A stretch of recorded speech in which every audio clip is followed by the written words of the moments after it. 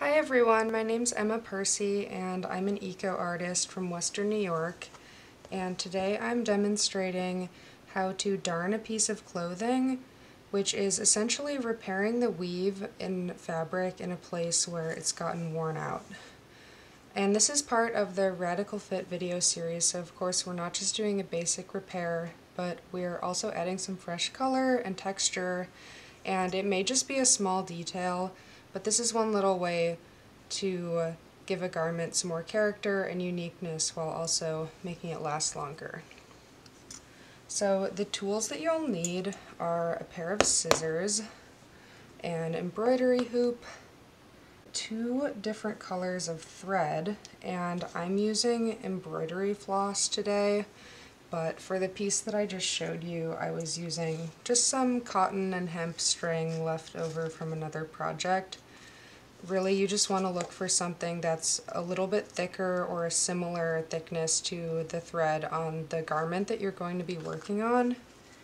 And last but not least is a sewing needle. All of these supplies you can find at any craft store and you can also find them pretty commonly at thrift stores too. This is the piece that we're going to be working on today. So darning is really best for clothes that don't have a big rip in them yet, but are maybe on their way there. This is just an area that's gotten worn thin. So basically we're going to just be reinforcing the fabric to prevent it from ripping anymore and filling in the space where it is starting to rip. The embroidery hoop has two pieces that just unscrew at the top. Take the middle circle out and put it on the underside of the piece of clothing. And then this fits right over the top of that. This will hold it in place while you're working on it without stretching it out too much. Then you can tighten it at the top and pick whichever color of thread you want to use first. Just measure out a few feet, trim it up. thread one end onto your needle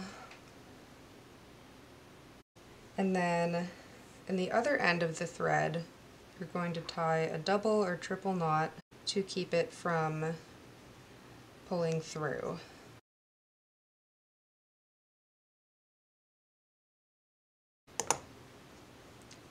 So I'm right-handed, so I'm going to be sewing with my right hand and using my left hand inside of the garment to support what I'm working on. And instead of just working on this area that's broken, I'm actually going to start a little bit outside of that so I can cover more area and really just reinforce this so that it doesn't rip anymore. So I'm going to start from behind inside of the fabric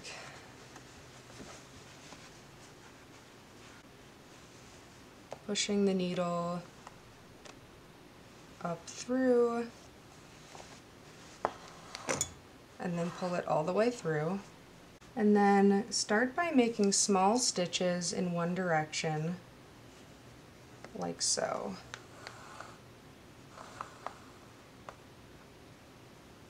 You don't want to pull it too tight, but just tight enough that the stitches aren't going to be loose.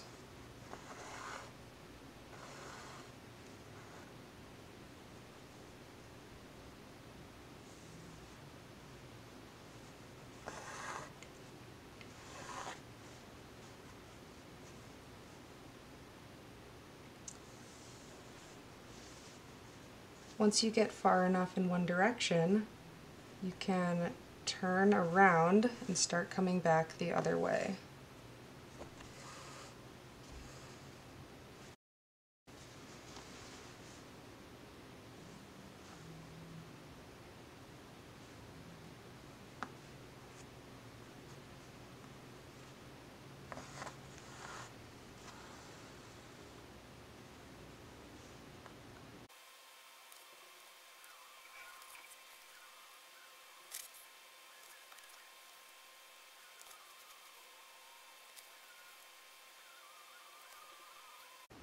When you get to the part where there actually is a hole, you're going to basically make longer stitches that just go fully across that area since there's nothing for you to go over and under.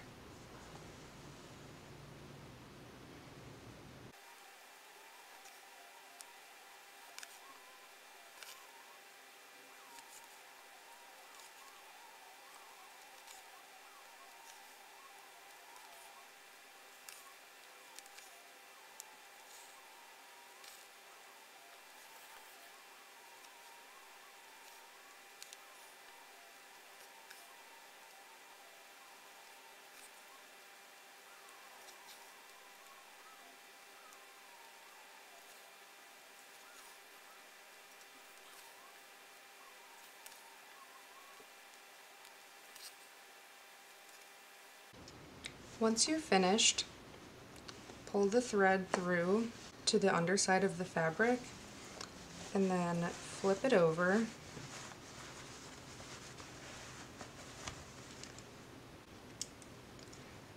trim your thread and then you can tie another double or triple knot on the back of the fabric. Then you can trim off a little more of that excess. Next you're going to take some of your second color of thread, thread one end onto the needle, and tie a double or triple knot in the other end. Start again from the underside of your fabric, and this time we're going side to side, sewing over and under the stitches that we just made with the first color. You might find it helpful to turn the hoop at this point so that you're not trying to stitch um, against the way that your hand wants to be angled.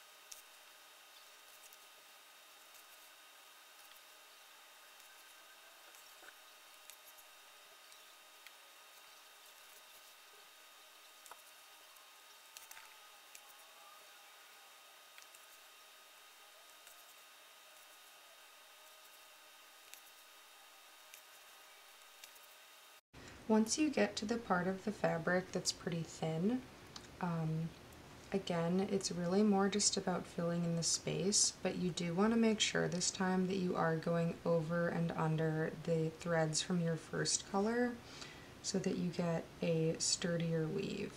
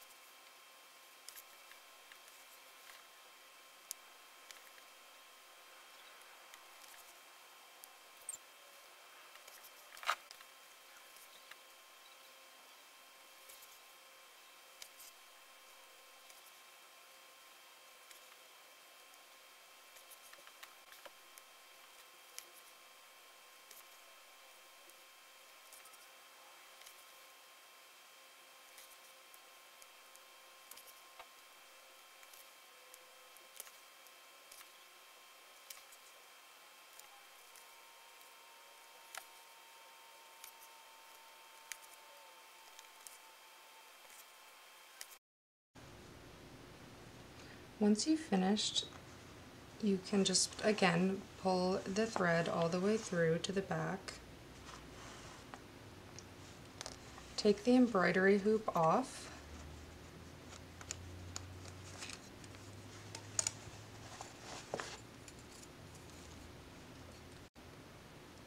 unthread your needle, flip the fabric over, trim this a little bit shorter so it's easier to work with, and then tie it off in a double or triple knot, holding the loop, pulling, and using your fingernail to keep the knot as close to the fabric as you can. Trim it again. And there you have it. Now this area of the fabric won't get worn out as quickly and it'll be a little more eye-catching and a little fun detail in your outfit. Be sure to check out the other videos in this series and you can follow me on Instagram at Emma Lucille Percy or visit emmapercy.com to see more of my work. Thanks for watching. Bye.